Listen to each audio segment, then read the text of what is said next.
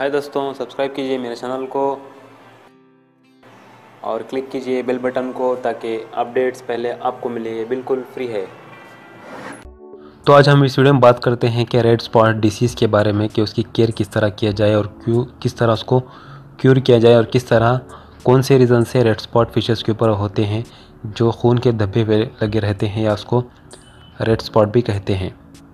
तो कंप्लीट इस वीडियो में अब हम बात करेंगे। तो आप सबका फिर स्वागत है मेरे चैनल पर। चैनल जिसमें आप सबको फिशेस की बहुत कुछ इन्फॉर्मेशन मिल रही है। जैसे कि हर एक नए टॉपिक के साथ नए वीडियो के साथ आता हूँ। आज का टॉपिक है red spot disease red spot disease जो है, बहुत से फिशेस को अटैक होती है। उसको एंडानेमिक या वाटर वेव्स भी कहा जाता है।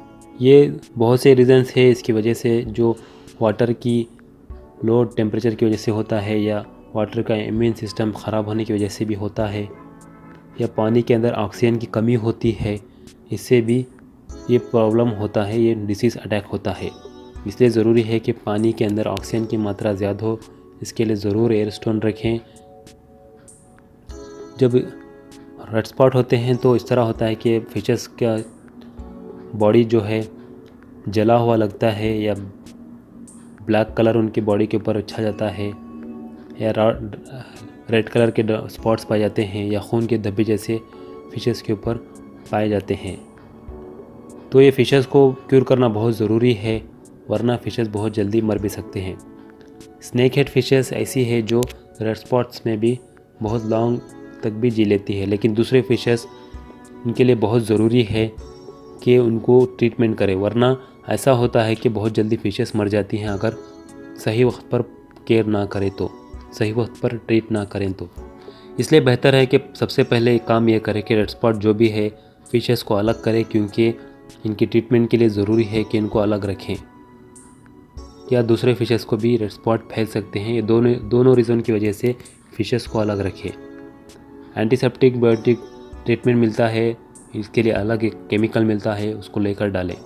टेम्परेचर 28 रखें वन टीस्पून पर फोर गैलन के हिसाब से इस एंटीबायोटिक, एंटीसेप्टिक या एंटीबायोटिक ट्रीटमेंट को डालें और टेम्परेचर 28 रखें, दो से तीन दिन तक अलग रखें और हर दिन, हर 24 घंटे में 20 परसेंट पानी चेंज करते रहें। आयोडो फोर सोल्यूशन करके मिलता है, जिसका लिंक जो मैंने डिस्क्रिप्शन में दे दिया हूँ, उसके केमिकल का, इस मेडिसिन का, इसको देखकर आप ख़रीद सकते हैं या एक्वेरियम स्टोर में मिल जाएगा। Iodo four iodo four solution करके मेडिसिन मिलता है, उसको ख़रीदें। उसका डिस्क्रिप्शन में मैंने वीडियो के लिंक दे दिया हूँ, उसको देखकर आप चेक कर सकते हैं, ख़रीद सकते हैं। कहीं भी आपको मिले, ख़रीद लें, ख़रीद लेकर इसको डालें। तीन से चार दिन तक अलग रखें तो ये रेड स्पॉट क्यूर हो सकते हैं। वरना अगर आप सही वक्त पर सही एक्शन नहीं लेंगे तो आपकी फिशेस कोई भी हो, मर सकती है।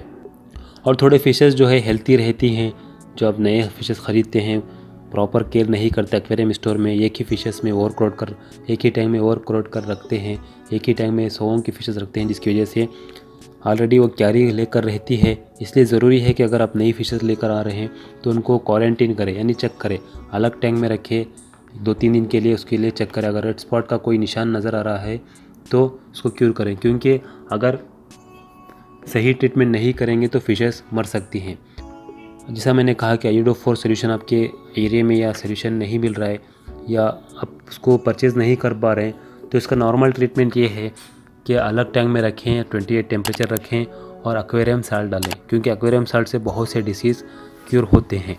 एक्वेरियम साल्ट डालें ट्वेंटी एट टेम्परेचर रखें एवरी ट्वेंटी फोर आवर यानी हर एक दिन में थर्टी परसेंट वाटर चेंज करते रहें और जितना चेंज करें उतना साल्ट डालते रहें। वन टी स्पून पर फोर गैलन डालें। इस तरह डालकर छः से सात दिन तक लगेंगे।